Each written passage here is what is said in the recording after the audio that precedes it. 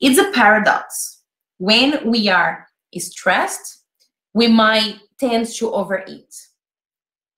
But then, if we there is there is a stress that is caused by overeating on a physical and in a mental level, uh, and it's greater than before.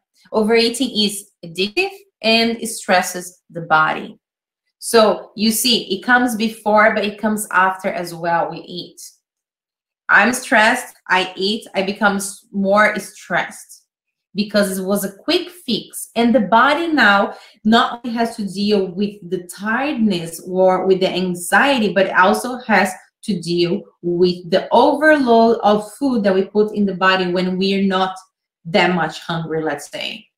Uh, or when we ate like something heavier, like we, we ate three full bowls of pasta, saying that we didn't really need that much.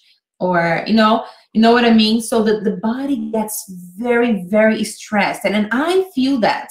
I feel like when I eat more than I need, I might not feel anxious. I find just calm and just, you know, get excited and eat more. I feel in my body the stress that it causes. My mind changes.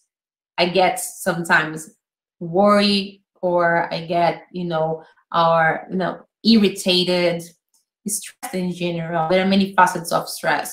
So I noticed this and I invite you to take action now you can you like i suggest if you don't if you don't haven't noticed yet this what you can do is take a week to notice how you feel before and after you overeat you notice that you might feel more anxious or more stressed or more tired after you overeat.